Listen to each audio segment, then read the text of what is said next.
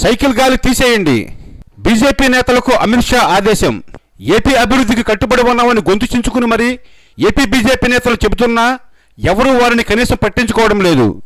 నిధులు ఇచ్చామని లెక్కలతో సహా వివరిస్తున్నా వాటిని చిత్తుకాగుతేలా చూస్తున్నారు. అందరిలోనూ ఒకటే ఫీలింగ్. అప్పుడు కాంగ్రెస్ ఇప్పుడు బీజేపీ ఏపీని మోసం చేశాయి అనేది బలంగా నాటుకుపోయింది. తమ పార్టీపై ఇంత వ్యతిరేకత రావడానికి ప్రధాన కారణం సీఎం చంద్రబాబు అని బీజేపీ నేతలు గట్టిగా నమ్ముతున్నారు. అంతేగాక ఇన్నాళ్ళు తమతో ఉండి లబ్ధి పొంది చివరకు తమనే ముద్దాయిలుగా మార్చేందుకు ఆయన చేస్తున్న ప్రయత్నాలను ప్రజాక్షేత్రంలోనే ఎండగట్టాలని బీజేపీ అధిష్టానం సిద్ధమైంది. చంద్రబాబుపై ఎదురుదాడి చేయాలని పార్టీ శ్రేణులకు బీజేపీ అధ్యక్షుడు అమిత్ షా దిశానిర్దేశం చేయడం ఇప్పుడు రాజకీయంగా ప్రాధాన్యత సంతరించుకుంది. రాష్ట్రాభివృద్ధికి కేంద్రం సహకరించడం లేదని ఇన్నాళ్ళు రాష్ట్ర ప్రయోజనాల కోసమే పొత్తులో కొనసాగామని చంద్రబాబు చెబుతున్నారు.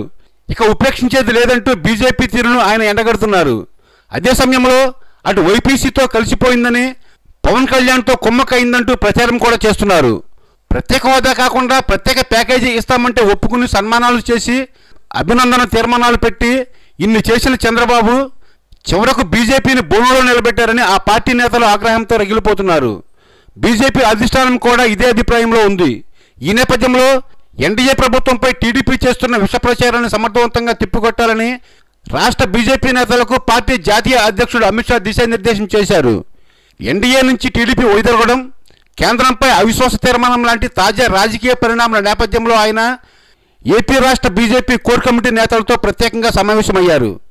కేంద్రంపై టీడీ చేస్తున్న విమర్శలను తిప్పికొట్టడంలో ఎక్కడా తగ్గొద్దని విమర్శలకు ప్రతి విమర్శలు చేయాలని దూకుడుగా వ్యవహరించాలని అమిత్ షా ఆదేశించారు. ప్రత్యేక హోదాకు బదులు ప్రత్యేక ప్యాకేజీకి ఒప్పుకున్న సీఎం చంద్రబాబు ఇప్పుడు ఎలా మాట మార్చి కేంద్రంపై దుష్ప్రచారం చేస్తున్నారో ప్రజలకు సమగ్రంగా వివరించాలని ఆదేశించారు. టీడీపీ ఇప్పుడు మన మిత్రపక్షం కాదు ప్రతిపక్షం అన్న విషయాన్ని గుర్తుపెట్టుకోవాలని అన్నారు. ఎన్నికల సమయంలో రాష్ట్ర ప్రభుత్వం తన వైఫల్యాలను కప్పిపుచ్చుకునేందుకు బీజేపీపై దుష్ప్రచారం చేస్తుందని వాస్తవాలు ప్రజలకు వివరించాలని సూచించారు.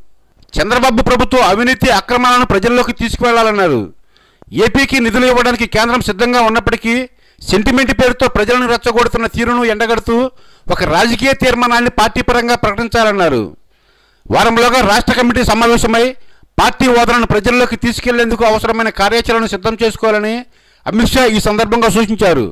కేంద్రంపై అవిశ్వాసం పెట్టడం ద్వారా టీడీపీ తాను తీసుకున్న గోతులో తానే పడుతుందని చెప్పినట్లు సమాచారం.